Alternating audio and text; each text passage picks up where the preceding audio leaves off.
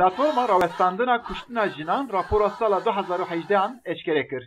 Li gorî vê raporê bes di nav salekê da çarsid û çil jin hatine kuştin. Di raporê da xayintî ango îstismara ku ser jina çêbiye sêsûd û hevdê û yê ser zarokan jî di sûd û hevdê tête diyar kirin. Platforma rawestandina kuştina jinan ev reqamana ji çavkaniyên vekirî tomar kiriye. Endamê platforma rawestandina kuştina jinan parêzvan Rûya İnanır dema vê raporê dinirxîne dibêje ev hejmar dibe ku zêdetir jî. kadın yönelik şiddet türlerine ve kadın cinayetlerine Gava em li cûreyên tundutijiya li ser jinan û kuştina jinan dinerin em dibînin ku helwesta dewletê ya cinsî û gotinên dijî jinê ya dewletê di vê mijarê da bandorek gelek xirab dike. Dema di vê derbarê da polîtika neyên ava kirin rewş xirabtir dibe.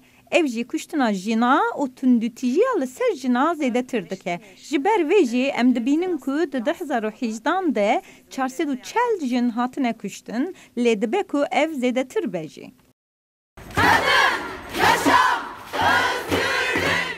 Kuştina jina di sala 2018 da li gorî sala berê ya 2017 zêdetir biye.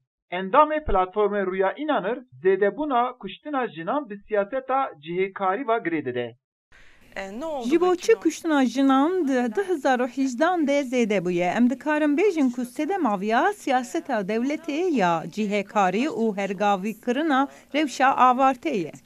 Endamê platformê Rûya İnanır ji bo çareseriya wî jî nêrînên xwe wiha diyar dike. Çareseriya vê tundutijiye gelo wê çawa be dema em li bersiva vê pirsê digerin daneyên 2018 û 2017 didin berhev û tê xweya kirin ku biryara parastina jinê bi bandor nehatiye bi karanîn. Dîsa Türkiye peymana Stenbolê ya bo jinê îmzê kiriye lê ev peyman jî nehatiye bi karanîn. Rapora ku platforma rawestandina kuştina jinan amade kiribû di rojeva HDP da jî Türkiye'deki Göringert. Kadın cinayetlerini durduracağız platformunun açıkladığı لګوري د خویانی ادانه ان پلتفرما راوستاندنا کشتنا جنان د سال 2018 ده میران 440 جن کشتنه زیاتر جی 317 جنان تندتیجی جنسی لهاتیه کرن ل ترکیه به جزایی ان کشتنا جنان مخابن ظلامه گوسر جنان ده تندتیجی دینه اوان به جسارت دکه cesaretlendirmektedir.